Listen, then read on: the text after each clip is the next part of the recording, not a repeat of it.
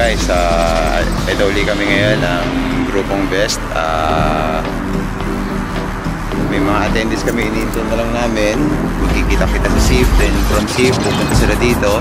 So, ang target namin ngayon is Ashray Beach. Pero, pag-uusapan kung saan dadaan.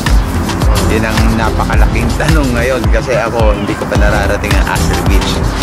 Uh, sila narating na nila pero 2 or 3 years ago.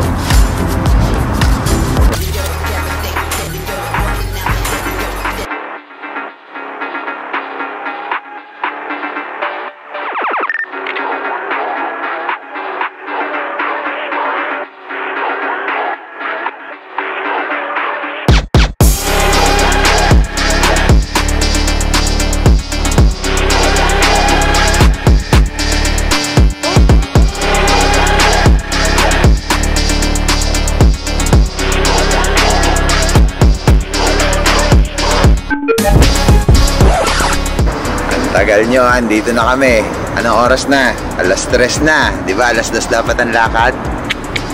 Bagal nyo. Kanina pa ako dito. Eh. Oh, grabe kayo. How do I look though?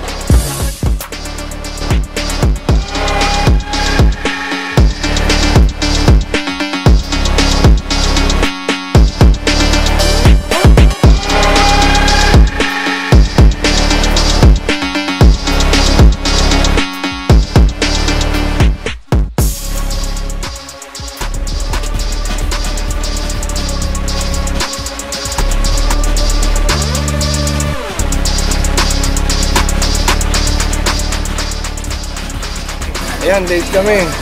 Kasi si Jan, sabi niya, meet up 1 o'clock. Si Tim, sabi niya, ride out alas 2. Eh, nag-yosip pa yung isa. Ayan, late kami. Sino ba yung nagplano? Kasi Hindi ako nagplano. Ayun. Saan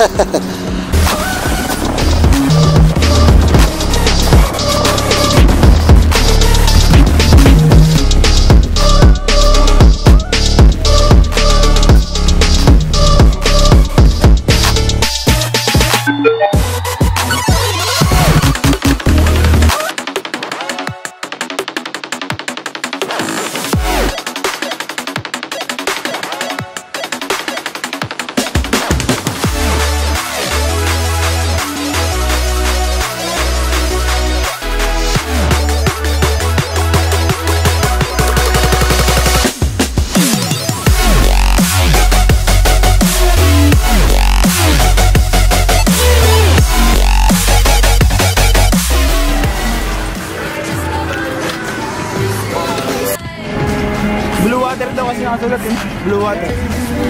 Ah, parang specialized na parang may tubig nila. May konting aftertaste na hindi malaman kung anong klase. Basta iba sa typical na nabibili natin sa cold store na tubig.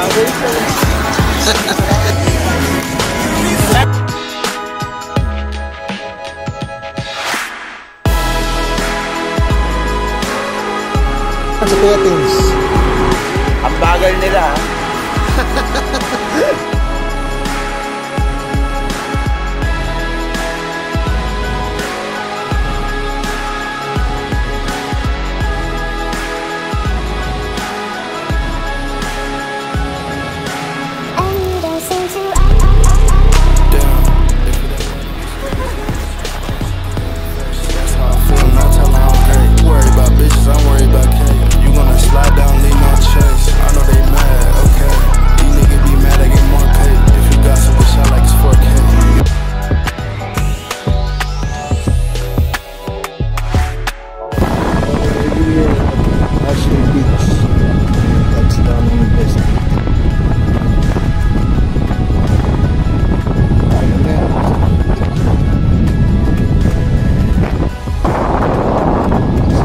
na namin namalayan. Inabot na tayo ng umaga dito.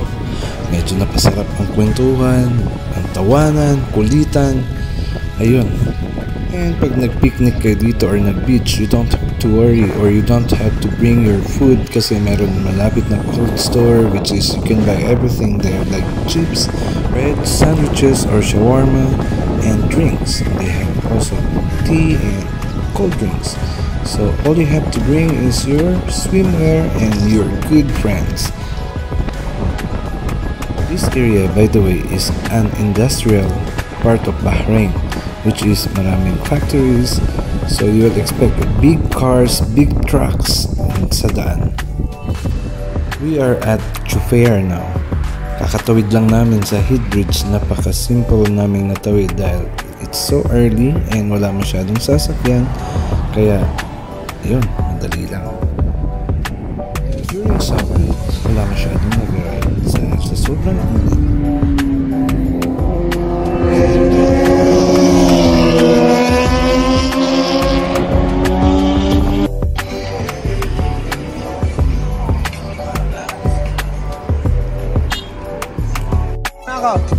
Sige. Ganyan ka naman eh.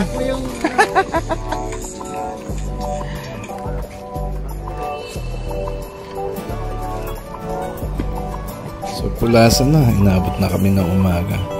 And Ashray Beach by the way is a public beach which is in fairness napakalinis niya. So another location unlocked, another place to visit anytime soon maganda na yung panahon.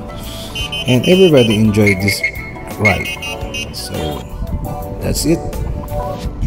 Helmets on and see you on the road. Keep safe guys.